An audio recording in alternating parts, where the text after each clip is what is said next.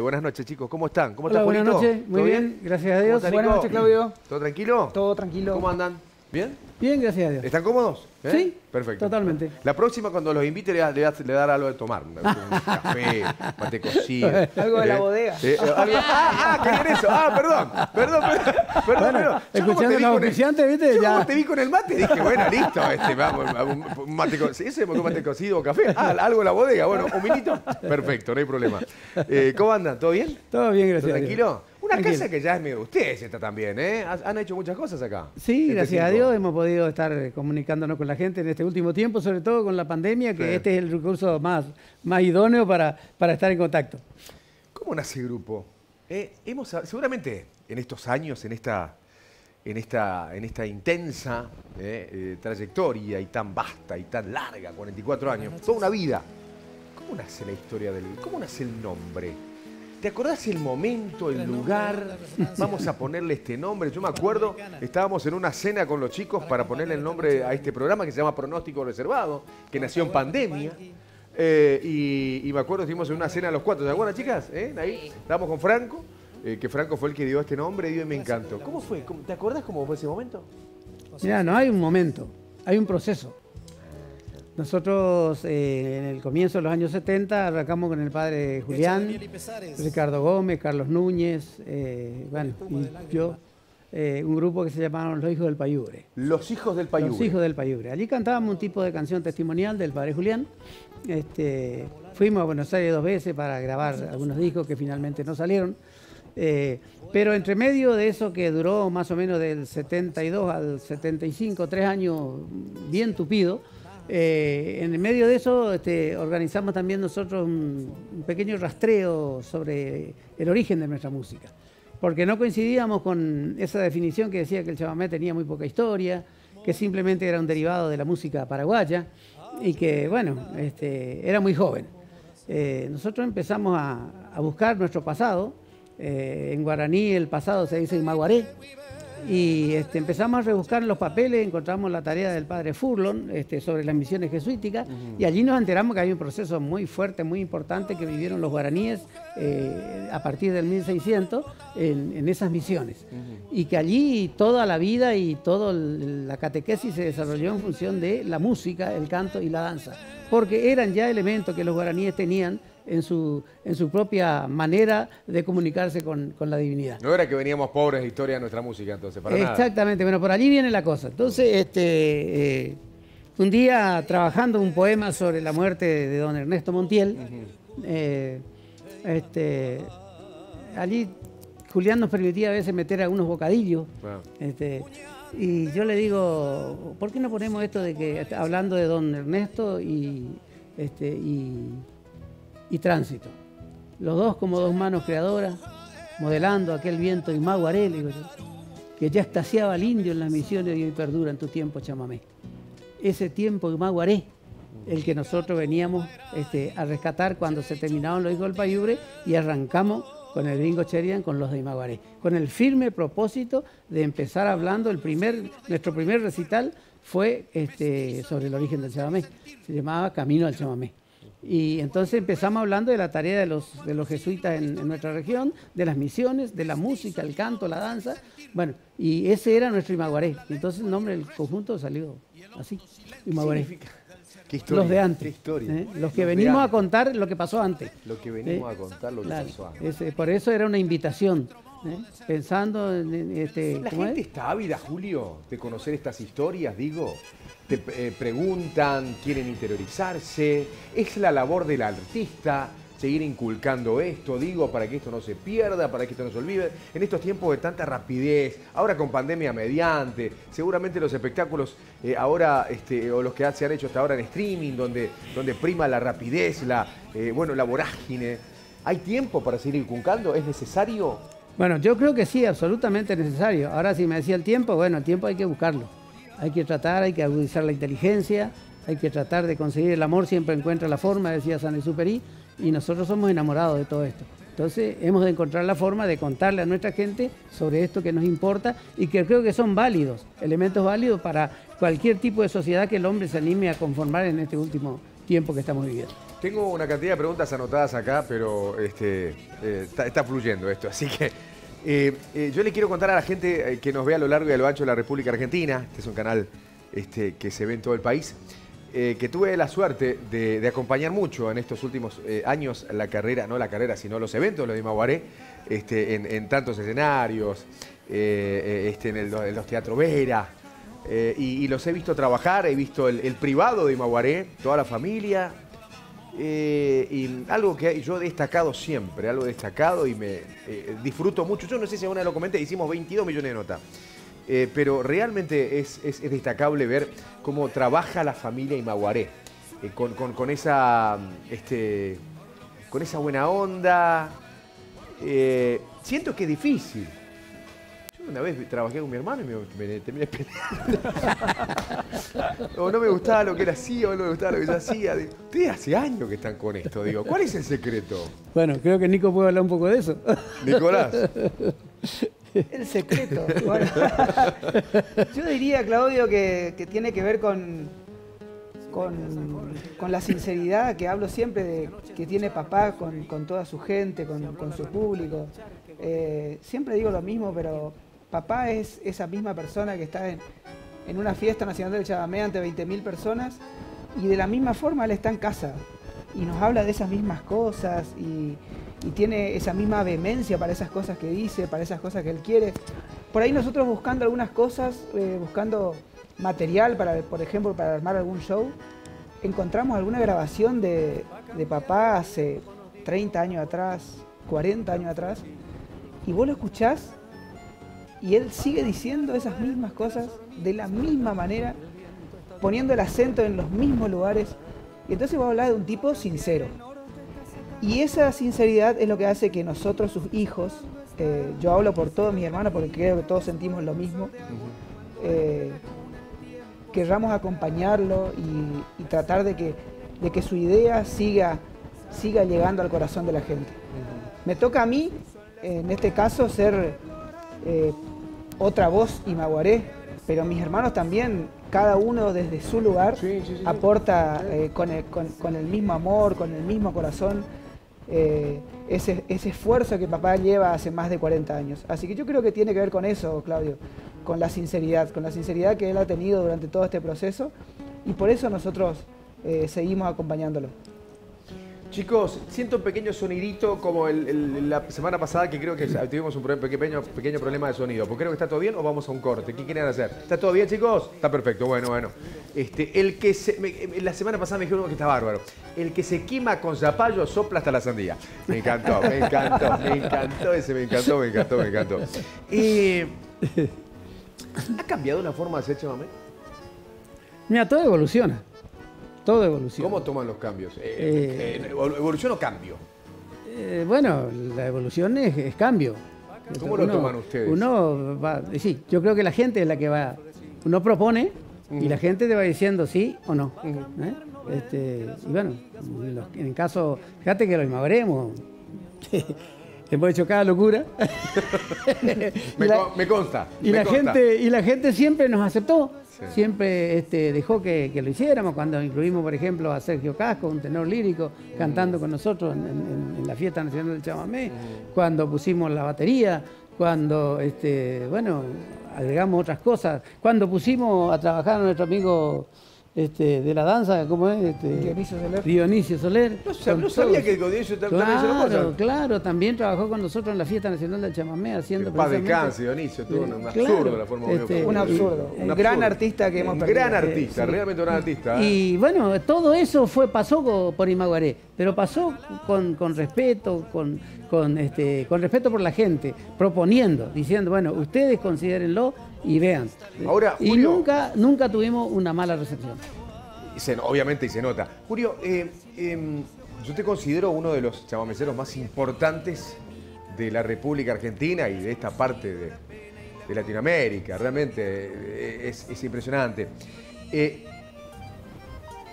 yo tengo como la imagen de que vos estarías del lado o me, tenías ahí, va, no es que tengo, sino tenías más, de que te estarías del lado de no- del no cambio. Porque est- están los chamameceros, los artistas, que no quieren saber nada con el cambio, no quieren saber absolutamente nada. Y como te veo con tus ideas tan arraigadas, y como lo decía Nicolás recién, con, eh, eh, con la parsimonia y la tranquilidad que, está buenísimo tenerla y transmitir eh, la música, el canto, los recitados, digo, este, te veía más del otro lado, del lado que te eras medio resistente a los cambios, no, el, show es así y Maguaré solo. ¿Qué vamos a poner un lírico? ¿Qué vamos a poner esto? Y nada que ver. No, totalmente. Siempre Imaguaré ha sido una apertura, es decir, desde, desde el comienzo. Este, y cuando se habla de los instrumentos, por ejemplo, cuando empezamos a... Sí, antes se tocaba guitarra, bandoneón y, y nada más. El bajo era la chancha, el bajo grandote. Este, el bajo eléctrico no, no estaba.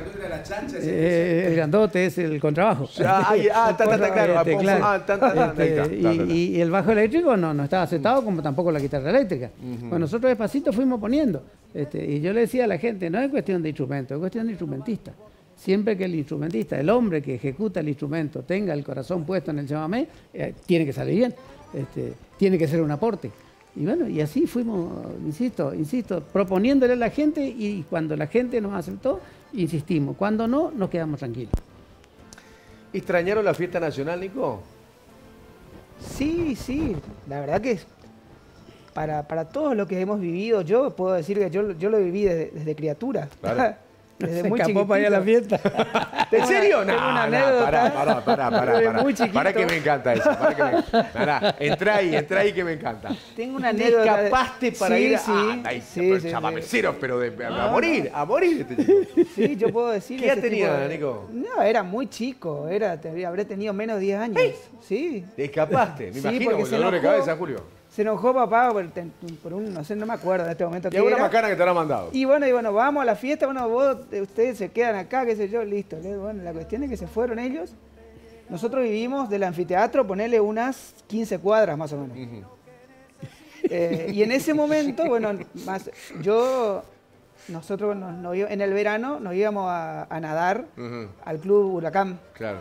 que queda, Sí. hay que pasar por el anfiteatro, entonces Total. yo sabía dónde estaba el anfiteatro porque siempre me iba caminando desde mi Claro. casa hasta el Club Huracán. Pero te ibas a la siesta, me imagino. Claro, a claro, no, a la pileta. mañana, nosotros nos íbamos a la mañana Claro. y estábamos todo el día en el club. Perfecto. Y bueno, la cuestión es que yo sabía que, yo decía, pero, ay, ay, ay. bueno, la cuestión es que se fue papá. Yo abrí dónde la se fue tu papá? A la fiesta del chamamé. Ah, actuar. Claro, ah, se fue. listo. Listo. Y yo agarré y dije, yo me quedé igual.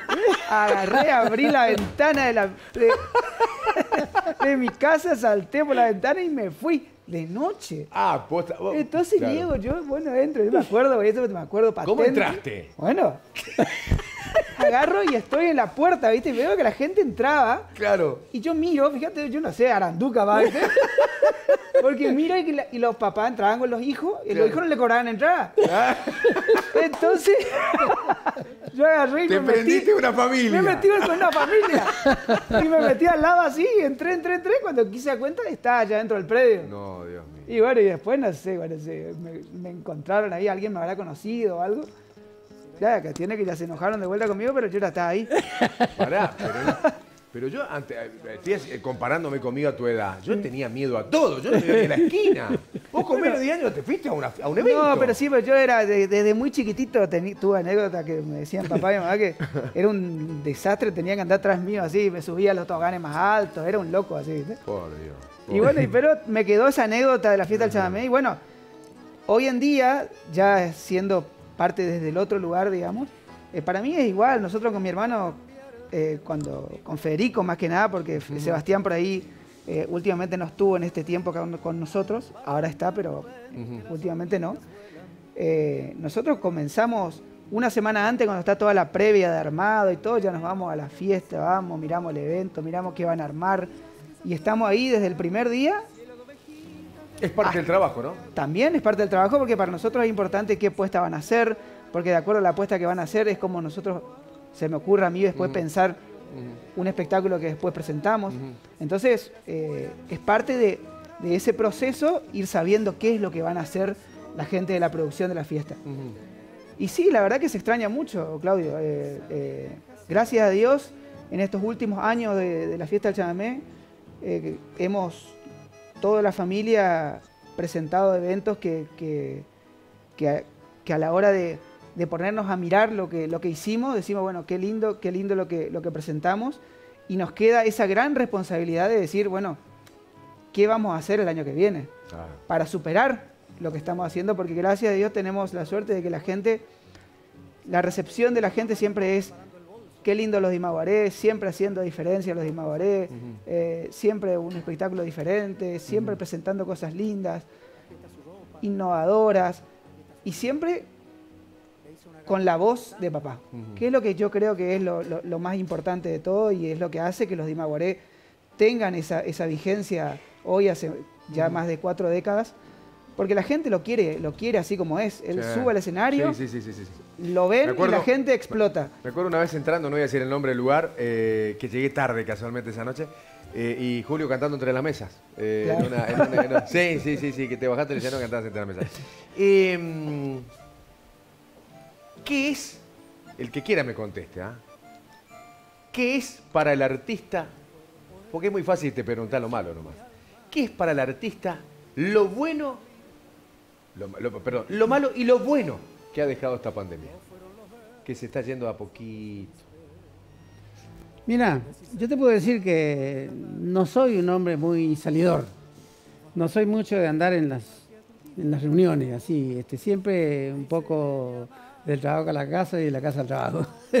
este, esa ha sido siempre mi, vida. Así funciona. Este, por lo menos en la última, la última etapa. Este, o sea que a mí la pandemia, con su principal eh, negación que fue el salir, este, no me afectó tanto.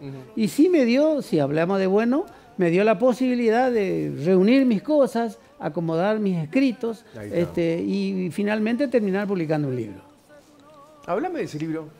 El libro se llama Del silencio y los caminos, eh, un título que se me ocurrió porque soy, eh, vengo de, una formación guaranítica donde nosotros para decir sabio decimos arandú. Arandú viene de dos términos guaraníes, arajendú, el que escucha el silencio. Entonces el sabio en guaraní es aquel que sabe escuchar el silencio. el silencio es la voz de Dios. Entonces a mí se me ocurrió que andar los caminos escuchando el silencio es lo que me permitió escribir este libro. Pensado en mi familia, pensando en mis amigos, pensando en la tierra, este, pensando también en algunos amores y, sobre todo este, eh, ayudándome a despedir a los hermanos que se fueron yendo en ese tiempo. Por eso este libro tiene 70 sonetos y 12 despedidas, que son para los que se fueron. Qué lindo, qué lindo, qué, qué, qué bueno. Eh, imagino que estaría bueno armar un show también en, torno a, los escritos estos, creo yo. Estaría, ¿no? Mi papá tiene algunas cosas musicalizadas. Ah, ahí está, así que por eso digo, estaría bueno. Eh, no, sé si fue, no, creo que haya sido el fin ese, Julio, pero... No, el fin más que nada fue contar, contar, lo, que, lo que tenía adentro. Y bueno, después me fui creando un poco el compromiso. Escribí un poema para Lidia, bueno, después se me ocurrió escribir un poema para el abuelo, después para la abuela, y después para mis hijos, y después para mis nietos, y bueno, y así voy completando la familia. Este, lo malo, Nico, más allá de todo lo que sabemos, digo, como artista, ¿cómo lo te malo, Lo malo fue, fíjate vos, Claudio, que nosotros... Eh, arrancamos artísticamente este año, en enero de este año, gracias a Dios. El 8 de enero de este año, eh, nuestro primer show fue en Bellavista. Eh, y particularmente me, pasó a mí, y creo que seguramente a, muchos artistas que, que empezaron a cantar nuevamente para la gente, que cuando estaba por, por largar la primera nota, se me hizo un nudo en la garganta de la emoción que tenía. Ver gente, ver público. No, no era solamente el público, Claudio, era, era eh, los ojos de la gente, la alegría, el llanto, el grito, un montón de cosas que uno extraña, como Claro, totalmente, Claudio. Yo hace 20 años que vengo acompañando a papá, ahora en este año se cumplen 20 años, y la verdad que eh, es una vida arriba de los escenarios que uno extraña el calor de la gente. Y por más que hemos hecho cosas durante la pandemia que tienen que ver con, el streaming y, presentaciones así a nivel virtual, eh, estaba esa frialdad, digamos, que, uno sentía que quería ese calor nuevamente. Sobre todo para este tipo de espectáculo, para este rubro, para, para, porque esto, hay mucho hay mucha emoción que juega acá nosotros, show de Claro, totalmente. Eh, nosotros en, el, en, los de Imaguaré tenemos el, calor de la emoción que se siente en, en, la mirada de la gente. Es esa ida y vuelta. Vos una fiesta de chamamé y la gente llora. Llora escuchándole a papá, escuchando, no solamente escuchándole a papá, a veces escuchando un sonido de acordeón.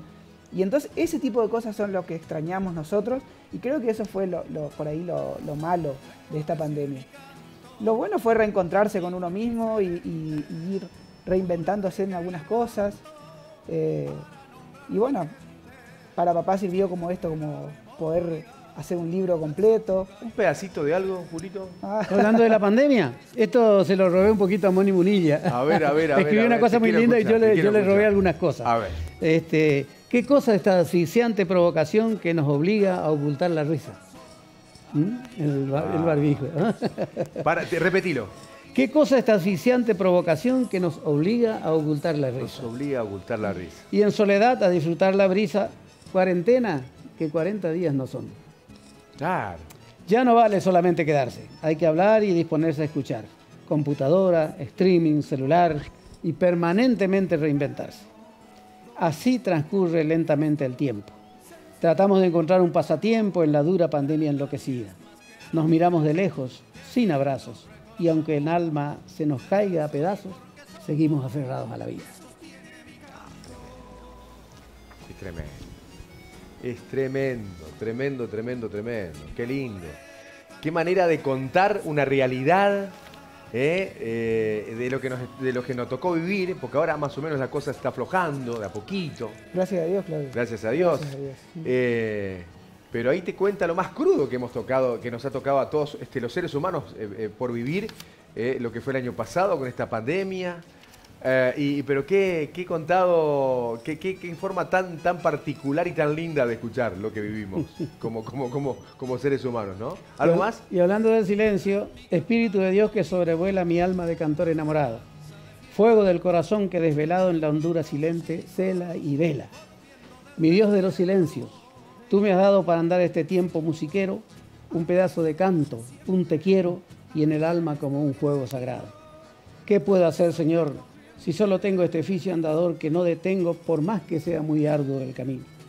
La fuerza de tu amor yo necesito más que nunca para lanzar el grito de dignidad por hombre y argentino. Ah, Un aplauso, Che. tremendo, por favor, por favor, por favor. Antes de comenzar a, liberarlo ya y agradecerles infinitamente la diferencia, la amabilidad que hayan tenido de, venir a compartir acá con nosotros y con la gente de todo el país. Eh, hay un hecho tan significativo que, no voy a parar nunca de, comentarlo, de decirlo y de compartirlo con ustedes también. Y, quiero saber qué, significa eh, esta declaración del chamamé como patrimonio cultural y material de la humanidad. Es una responsabilidad de los que están, para los que vienen, para todos. Yo creo que es una responsabilidad, sí, sí, sí, sí.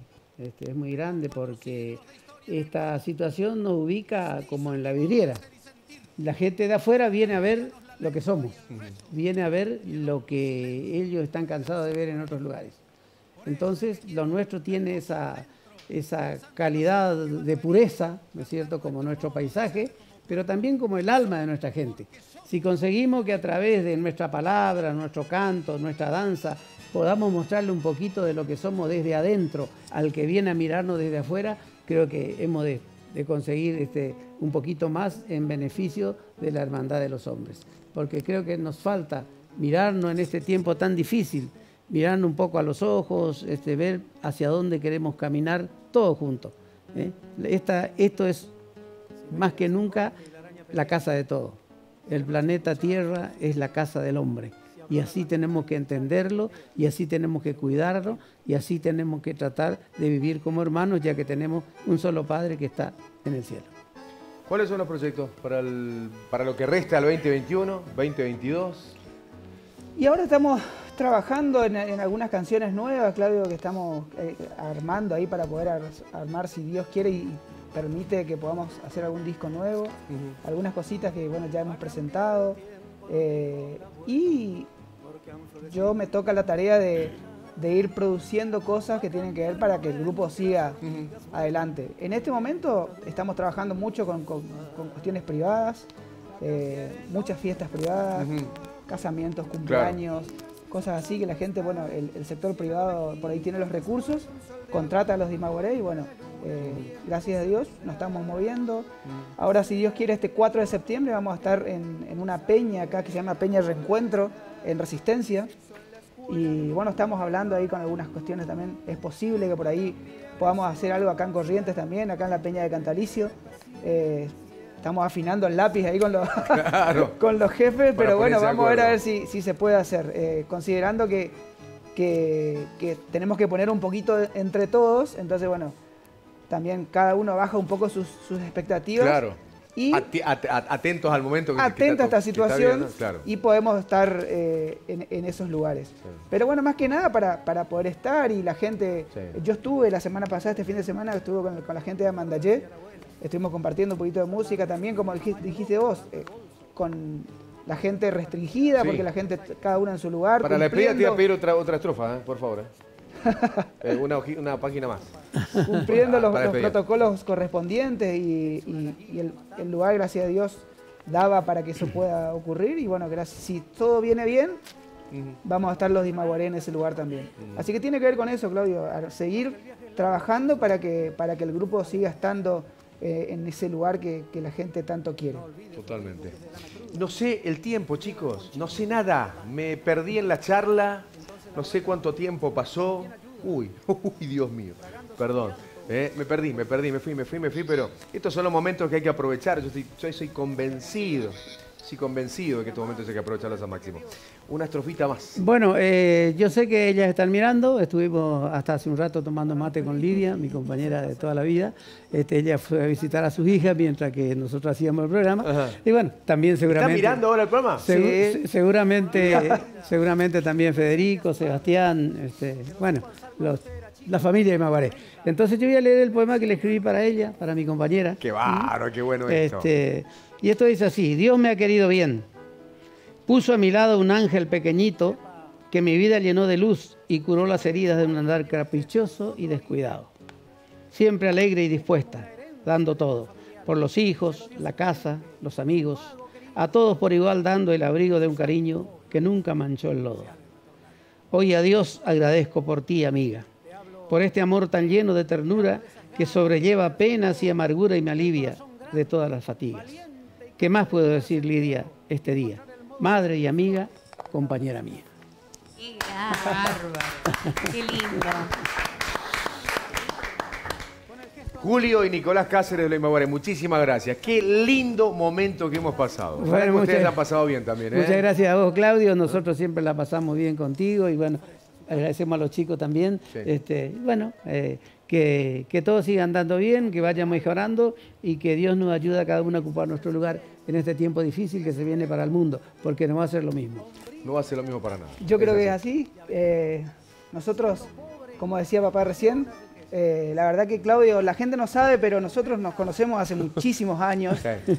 Claudio Martínez ha puesto la voz en los de Imaguaré, en- no solamente en. Nos ha hecho en los la cabeza cuando no ha llegado horario.